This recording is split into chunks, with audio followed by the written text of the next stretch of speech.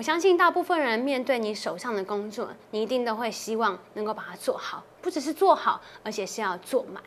当时呢，尼西米他就有一个非常重要的工作，他就是要重建城墙。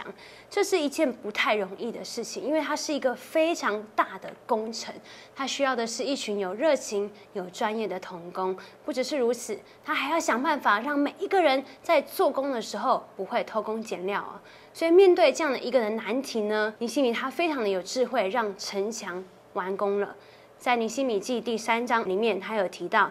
便雅敏和哈树修造了在下一段，就在他们房子的前面。亚南尼的孙子马西亚的儿子亚萨利亚修造了在下一段，就在他房子的前面。他让每一个人呢去修筑他自家门口的那一块。为什么要这么做呢？因为他在修筑的时候，就好像他在修筑自己家中前面的庭院一样。谁会希望自己家里面庭院或者是城墙是修的破破烂烂，而且随时都有可能倒塌呢？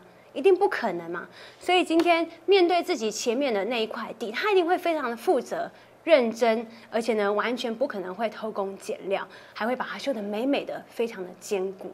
同工们，我要祝福你！今天我们都是神的仆人，尼西米的智慧同样的也在我们的里面。